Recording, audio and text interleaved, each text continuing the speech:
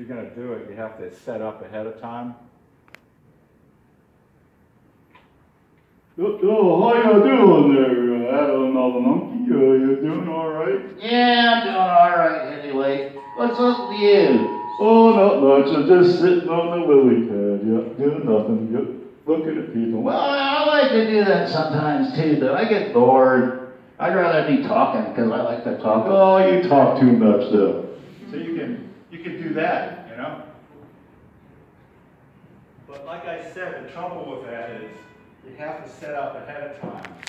Uh, What, what I, I've done that a few times, and you just start out doing one puppet, and then you have to be, have this planned ahead of time where somebody will bring up the other puppet to you.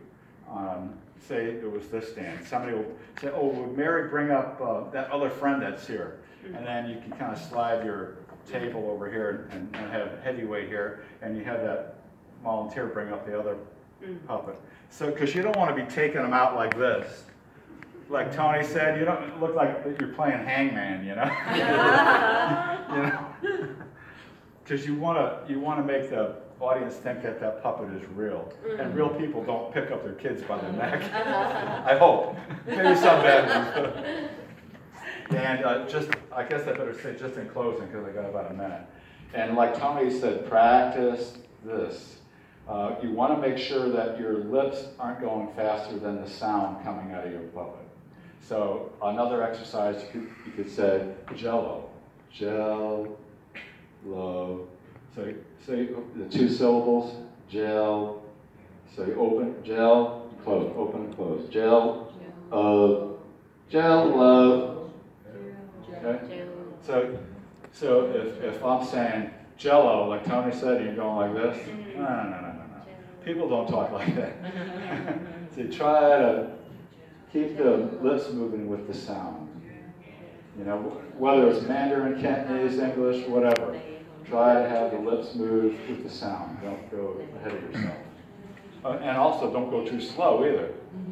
I mean, you can talk fast and the, and the lips are going slow, or vice versa. You want to keep a balance there.